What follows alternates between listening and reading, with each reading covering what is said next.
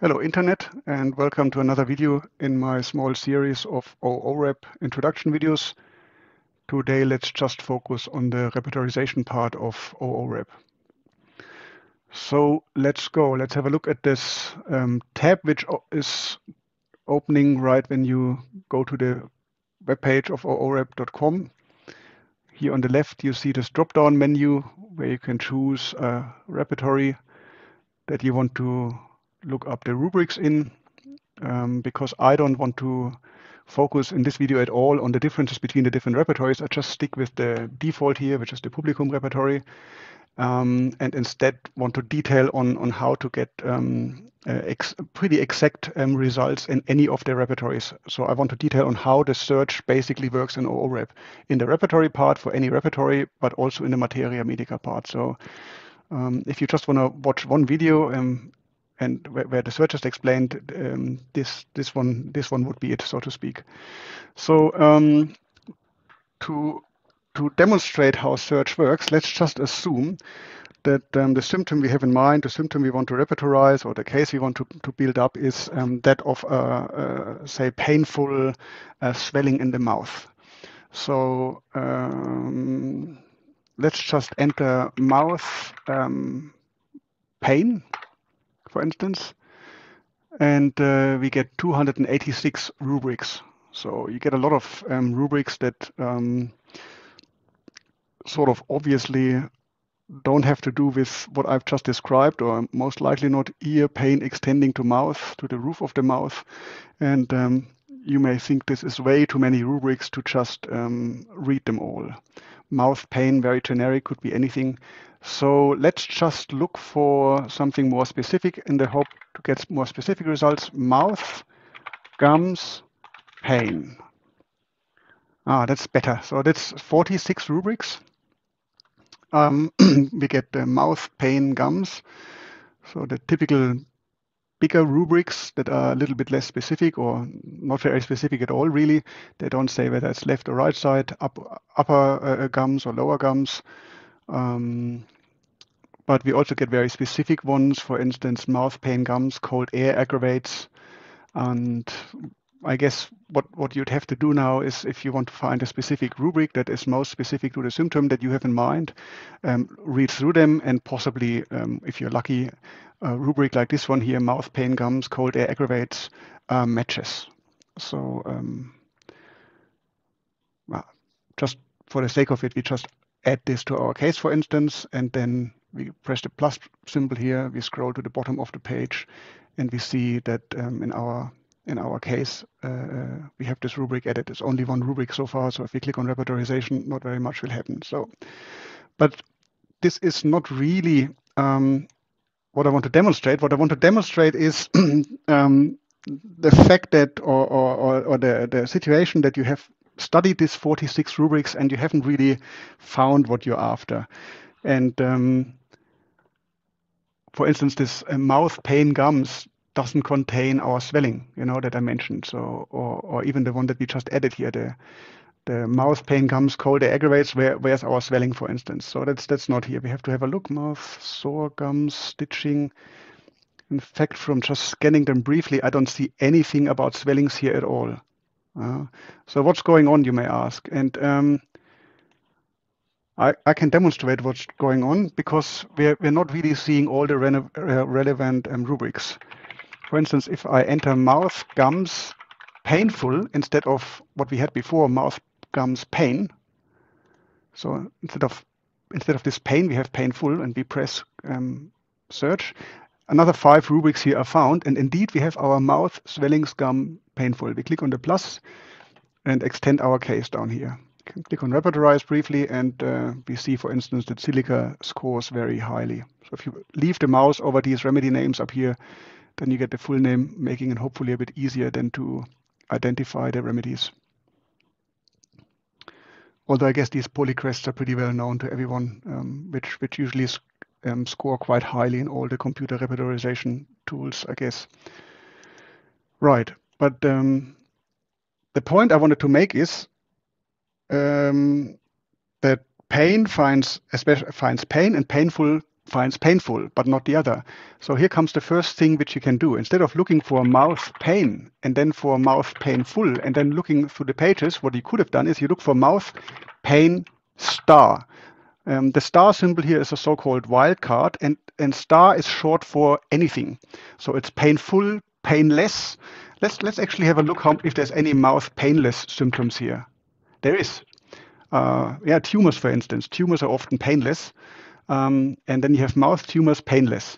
So if you want to have everything to do with pain, pains, pains like in, in plural, painless, painful, pain, then the best way to do it is to look for mouth, gums in our case, and pain star. And this gives you 52 rubrics. So this is roughly all these three pages I've shown you um, all added up. And here we have this rubric from before that we've added mouth, pain, gums, co um, cold air aggravates. You see that here it's grayed out that little plus, so we've added it before. And um, we also have our swellings. Yeah, we have our swollen gums, our painfuls. Yeah. So the first thing, the first takeaway message from this video is use wildcards. Mouth, gums, pains pain star. Okay, we could have also used. Um, we can use multiple wildcards. Um, let me just try whether that is um, whether we look for mouth gum. Does that also? No, it doesn't. Because you could have imagined a situation where you have also gum as in singular, and then you can use you can find gum and gums like that. So you can use multiple of these of these wildcards, and um, and they match pain, painful, gum, gums, and so on. So another situation um, that might arise is that you are getting um, too many results when you enter something. Um, so the, the, previous situation was that we that we dealt with a situation where where not enough results, where not the right result was was showing up, and then we used the wildcard to extend our search. Um, but sometimes we may also get um, too many and be overwhelmed, and and also see that it's obviously showing uh, too many rubrics. And um, there's another feature here you can use to rectify the situation somewhat. So um, let's just assume we, we're looking for mouth pain again, pain star, and we're getting 320 results. Um, and we have our uh, our swelling uh, uh, again, say in the in the gums or in the palate, and um, and we get these 320 rubrics and and and are overwhelmed by going having to go through all these four pages of results. So um, we see, for instance, here that there's uh, rubrics having to do with ear, which is probably not not relevant for our swelling, face pain, and so on, head pain. Okay, so these are obvious ones, but they're not so many. Um, we can look at them in a minute. But there's also other ones. For instance, here um, pain, aching palate, okay, biting, boring.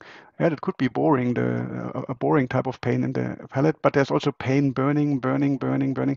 You see, there's a lot of burning pains, and the swellings usually are not burning. They're more like a pressing, boring, drawing uh, pain. Uh, I would argue, or let's just say that's that's that's what we're dealing with. And so all these these burning are really just uh, a distraction and and more work. And so what we can do is what's already suggested here in that yellow box. That yellow box, if you just quickly look at that, it says high number of results. Maybe try narrowing your search using minus. Yeah, here. Like mouth pain star minus burning. It also suggests a wildcard here because uh, it, it, does that because yes, there is a number, a high number of results, and um, apart from the word mouth and pain, the third most common term that's in these rubrics apparently is burning and that's not relevant to us, so we can just exclude it from the search. So we we we we we're now changing the search. You can use this button here to this arrow here to bring up the last search term. If you press this, it comes back up, which is mouth pain star, but but exclude all the results that have burn in them.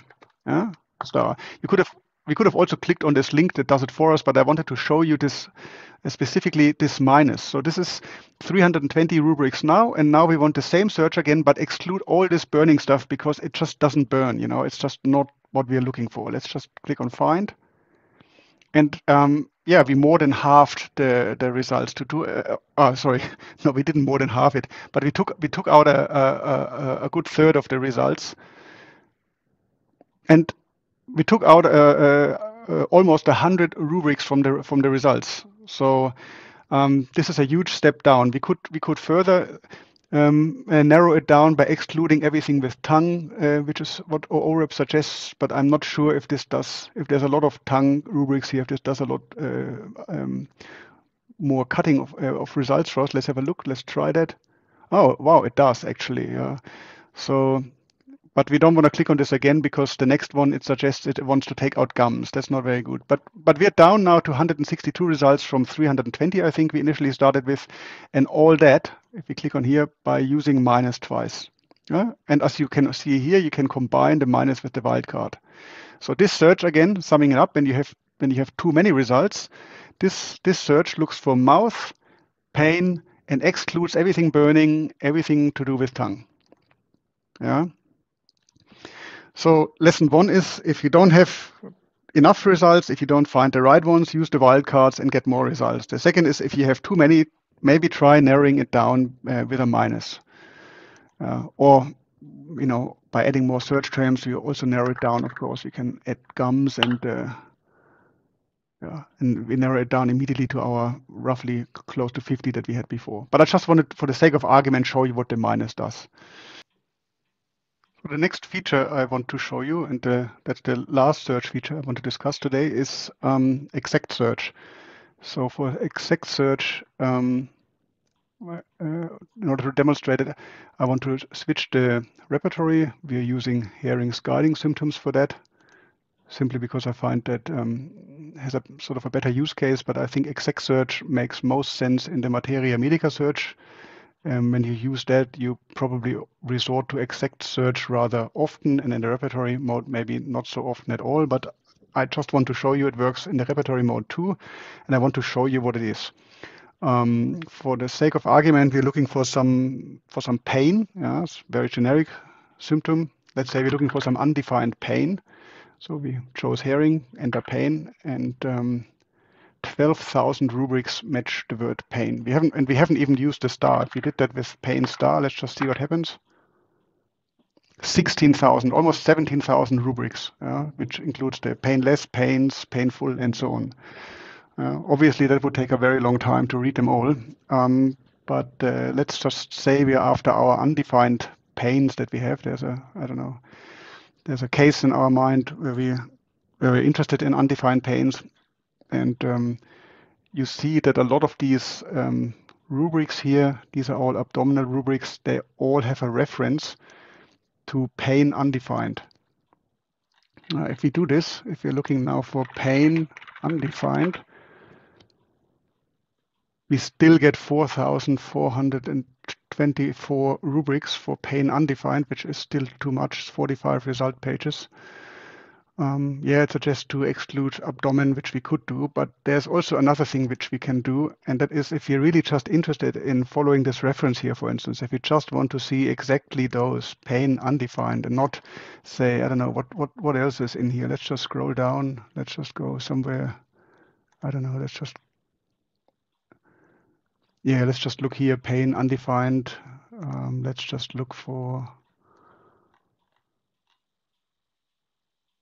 yeah, this is all different different writings of, of, of, of, a similar thing, I guess. But if you if you want to look for especially especially in particular for that reference here, which says uh, C pain undefined, we can just use exactly that term in our search by putting it into these colons.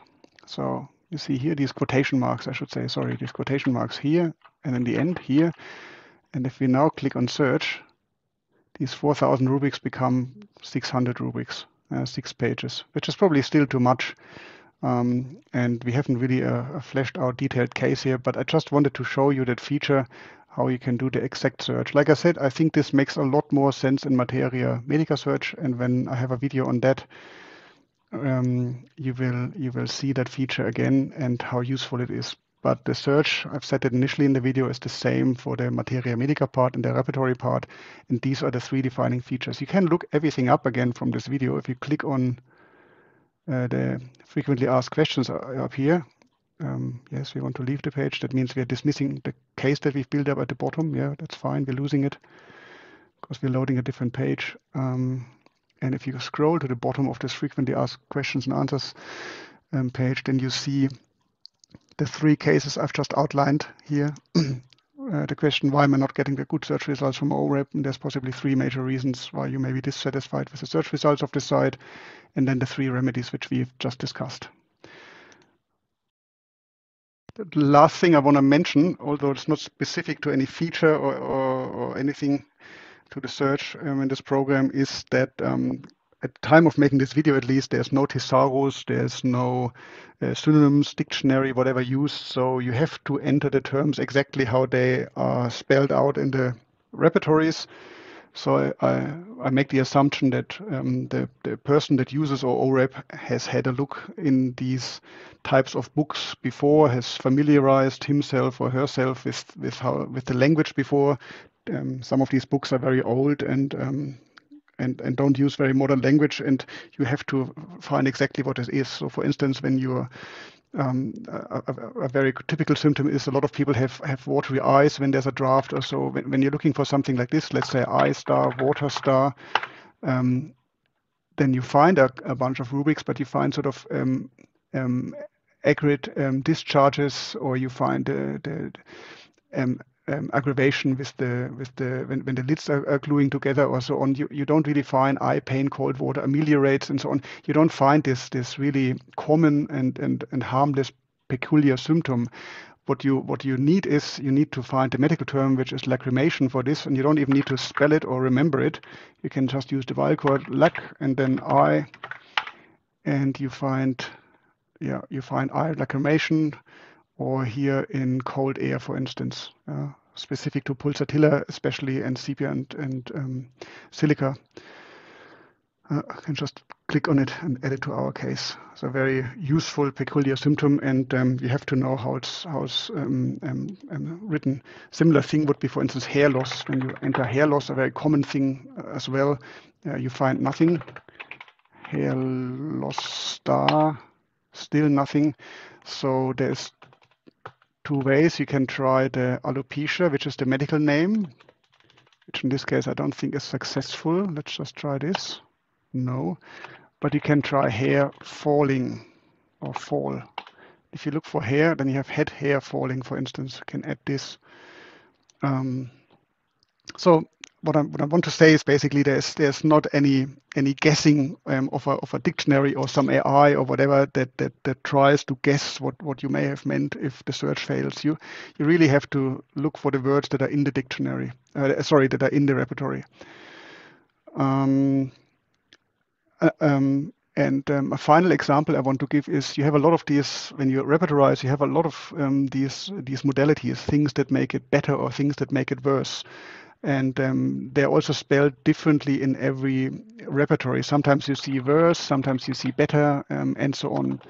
Um, sometimes you have aggravation, sometimes you have amelioration, and so on.